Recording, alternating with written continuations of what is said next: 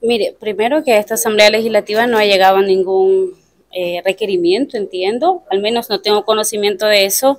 Sí, eh, lo último que veíamos eh, hace unos días fue lo que presentó la Fiscalía General de la República. Yo creo que hay que dejar que las cosas sigan su curso, sigan su proceso y cuando llegue a esta Asamblea Legislativa habrá que, habrá que revisar el requerimiento si cumple o no con las medidas y con los criterios que establece un procedimiento de desafuero. Hay, como le digo, o sea, para votar o no hay que revisar si el requerimiento que la Fiscalía en su momento envía a la Asamblea cumple o no con los requisitos.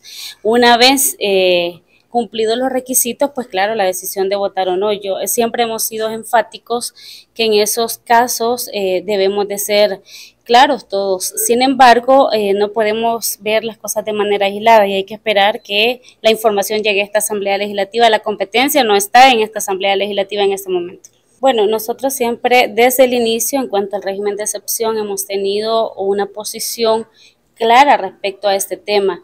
El combate, estamos eh, a favor del combate en contra de la violencia, en contra de la inseguridad que existe en este país. Eh, sin embargo, creemos que el gobierno tiene las medidas, tiene las herramientas necesarias, los fondos y los mecanismos para combatir la delincuencia que azota nuestro país. Y no la tiene desde hoy, es decir, las leyes existen y han, y han existido desde hace ya varios años.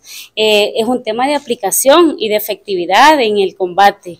Entonces, el régimen de excepción es más para la ciudadanía y estamos y siempre hemos estado en contra de limitarle los derechos a la población, no así, no así del trabajo que las instituciones, en este caso de seguridad, deben de hacer día con día porque es el rol para el cual han sido electas.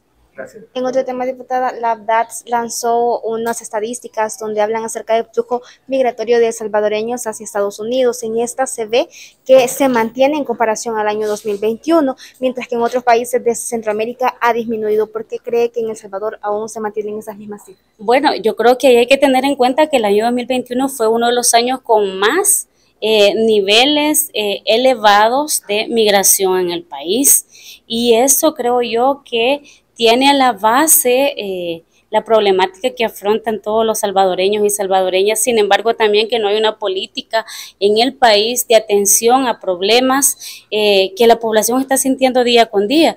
Eh, el tema del el desempleo, el tema de la pobreza, el tema de la exclusión y la marginación y más aún ahora que estamos en medio de un régimen de excepción que limita derechos a la ciudadanía, claro, la, la, población no tiene otra alternativa que buscar el tan anhelado sueño americano, pero eh, lamentablemente creo yo que también este es el reflejo de las malas políticas aplicadas en el país. Hemos tenido y tenemos datos y cifras históricas, obviamente, aquí sí son datos históricos de los altos niveles o flujo, mejor dicho, de migración en el país. Nunca antes habían existido estos datos así.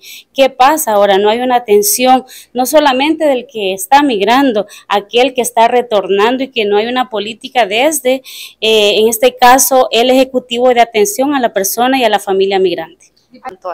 Bueno, quien opine eh, tendrán alguna certeza sobre eso, yo no podría decirlo, sin embargo uno no puede negar que la migración no es de estos últimos dos meses. La migración en el país ya lleva varios años y que además tiene a la base problemáticas serias que sufre la familia salvadoreña y desconocer eso es desconocer la realidad que afrontan los hombres, las mujeres y los niños en este país. Diputada, en otro tema del desarrollo de la comisión, ¿cuáles fueron los puntos más importantes o se van a estudiar algo? Pues en la comisión este día no hubo mayor... Eh, desarrollo, mejor dicho, de ningún tema, ningún tema en, discusión, simple y sencillamente se aprobó el dictamen, en este caso el informe trimestral, que es el trabajo que la comisión ha venido haciendo los últimos tres meses.